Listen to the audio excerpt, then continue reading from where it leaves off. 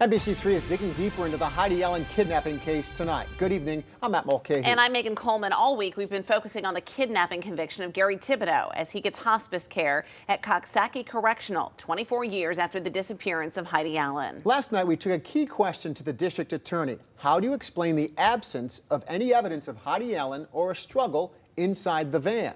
Prosecutors maintain was used during the kidnapping. Well, tonight we're fact checking the claim made by Gregory Oakes that the van was suspiciously absent of materials. That's not what investigators found in 1994.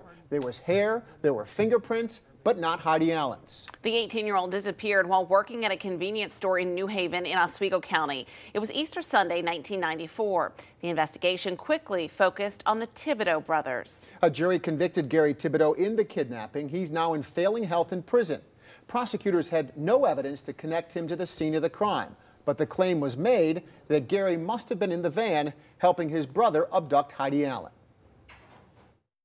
This is the photo of inside Richard Thibodeau's van. Photos taken by the Oswego County Sheriff's Department six days after Heidi Allen's kidnapping.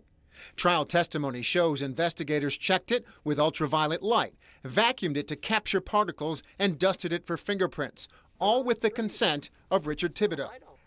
They wanted to take my van that evening. I said, yeah, you can take my van. You can go through it. You can do whatever you want. I said, I haven't got nothing to hide. I didn't do anything anyway. The van left plenty for investigators to test. The FBI lab report shows they found five latent fingerprints, hairs, and fibers in the van. Yet when we talked with the district attorney this week, he gave a much different summary of the evidence in the van. How come he didn't find anything in Richard Thibodeau's van then? Well, eh, one of the interesting questions is, you know, when they looked at it is they talked about the absence of fingerprints and DNA and hair fibers kind of across the board, not just relating to Heidi Allen. Um, if you were to go to my vehicle right now that's you know, used and traveled in, you're probably going to find fingerprints, DNA from other people, hair fibers from my kids.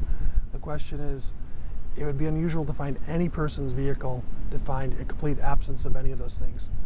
So the fact that there was a complete absence indicates to me that somebody was cleaning it and maybe taking special efforts to make sure that those types of things weren't found. At trial, Oswego investigator Nicholas Kleist testified, saying he found fingerprints and compared them to both Thibodeau's and Heidi Allen.